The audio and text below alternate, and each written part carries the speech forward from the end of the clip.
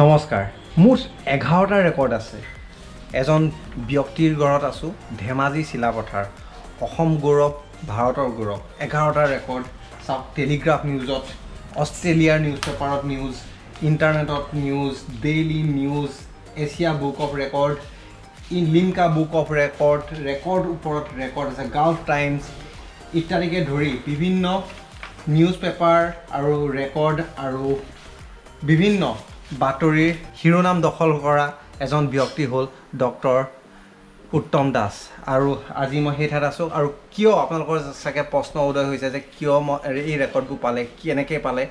কৈ দিওঁ চাওক ওলোটাকে কিবা এটা যদি হয় মানে যদি লিখিবলৈ কোৱা হয় ওলোটাকে লিখি দিয়ে। যিটো আপুনি আইনাত আইনাত যদি দেখুৱায় তেতিয়াহে আপুনি বুজি পাব।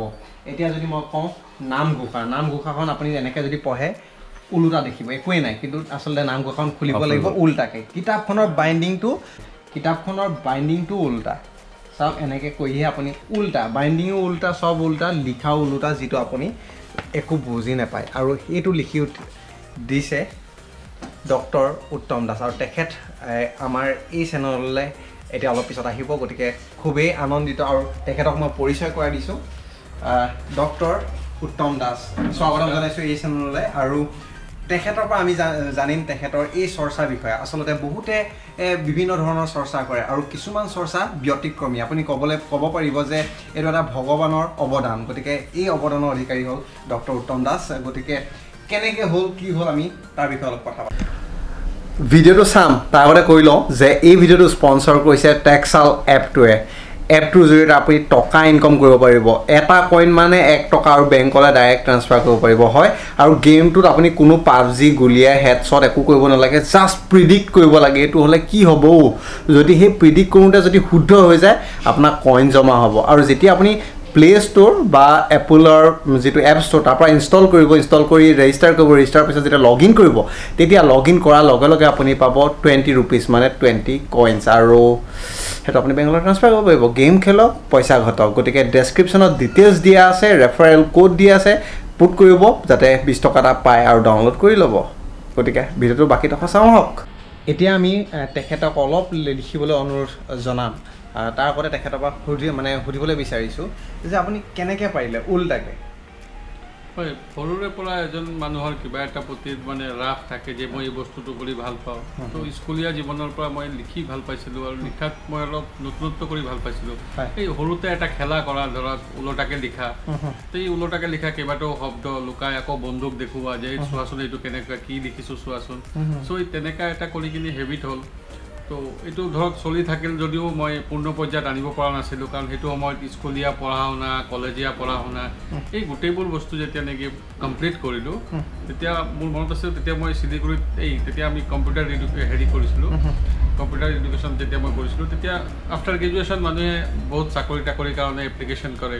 তো মই বিভিন্ন ধৰণৰ কোম্পানীলৈ এপ্লিকেশ্যনবোৰো ৰিভাৰ্চকৈ লৈ লিখিছিলোঁ বাট সেইবোৰ মই কেতিয়াও পঠিওৱা নাছিলোঁ ৰিভাৰ্চকৈ লিখি থৈ দিছিলোঁ। তো তেনেকৈ লিখা লিখি যেতিয়া নেকি কণ্টিনিউ লিখি আছিলোঁ তেতিয়া ভাবিলোঁ যে এই বস্তুটো লৈ কিনে অলপ বেলেগ ধৰণে চিন্তা কৰিব পাৰি নেকি ঠিক সেইটোৱেতো মোৰ মনত আহিলে যে যদি বেলেগ ধৰণে চিন্তা কৰিব পাৰোঁ তো মানুহৰ যদি কিবা লাভ লাভ হয়। বা আমাৰ লিটাৰেচাৰৰ কাৰণে এটা নতুন দিশো হ'ব পাৰে। বা আৰ্টৰ কাৰণে এটা নিউ ডাইমেনশ্যন হ'ব পাৰে হ'ব পাৰে তো ঠিক তেনেকৈ ভাবি কিনি মই দুহেজাৰ চাৰি চনতে আৰম্ভ কৰিলোঁ এখন কিতাপ লিখিবলৈ তেতিয়া মই স্বামী বিবেকানন্দৰ মেডিটেশ্যন এণ্ড দিছ প্ৰিপেৰেশ্যন বুলি এখন ইংৰাজী কিতাপ লিখি উলিয়াইছিলোঁ। আৰু সেই কিতাপখন লিখাৰ পাছত মই আৰু দুগুণ উৎসাহ হৈ গৈছিলোঁ যে এখন কিতাপ মই লিখি কমপ্লিট কৰিলোঁ। ঠিক আছে। ঠিক তেতিয়া ভাবিলোঁ যে এতিয়া অলপ ডাঙৰকৈ চিন্তা কৰা যাওক। আৰু তেতিয়া মই ভাবিলোঁ যে আজি যদি মই ডাঙৰ ডাঙৰ যিবোৰ গ্ৰন্থবোৰ আছে বিভিন্ন ধৰ্মীয় লোকৰ সেই গ্ৰন্থবোৰ লিখোঁ। তাৰ পৰা মই এটা বস্তু কৰিব পাৰিম মই গ্ৰন্থবোৰো লিখি শেষ কৰিব পাৰিম।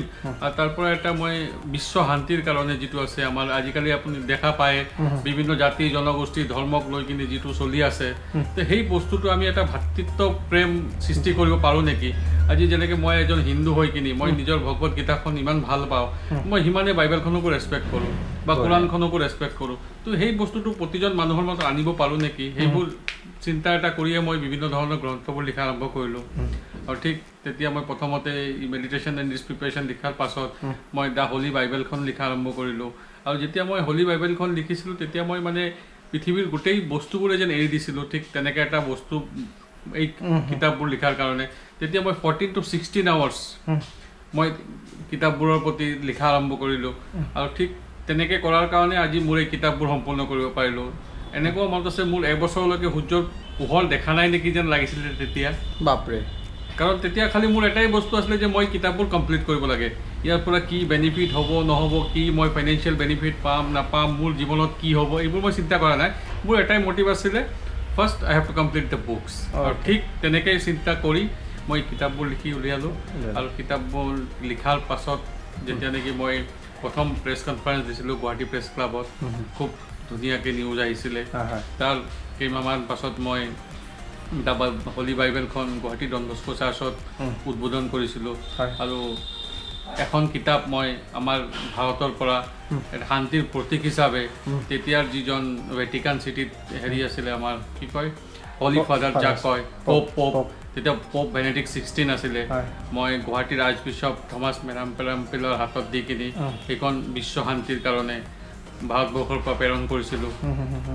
তো মানে এই কনচেপ্টবোৰৰ কাৰণে আৰু আজিও মই বহুতো ধৰ্মীয় গ্ৰন্থ লিখি আছোঁ। মোৰ এটাই চিন্তা এটাই হেৰি যে এই ভাতৃত্ববোধ প্ৰেম মৰম ভাল পোৱা যেন মানুহ মানুহৰ মাজত থাকে।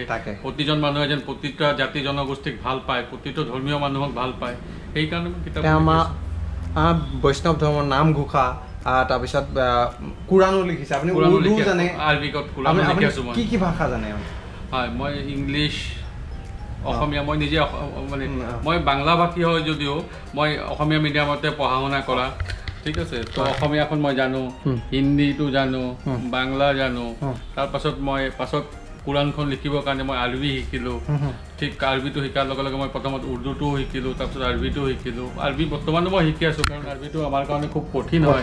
আৰু নিয়মীয়াকৈ অভ্যাস মানে অধ্যায় অধ্যয়ন কৰিব নোৱাৰোঁ বুলি অলপ টাফ হয় কাৰণ বিভিন্ন ধৰণৰ সামাজিক কামো থাকে এইবোৰ। কৰিব লগা হয় ঘৰুৱা কামবোৰ থাকে। তো অধ্যয়ন কৰি আছোঁ আৰু কিতাপবোৰ লিখি আছোঁ। বঢ়িয়া।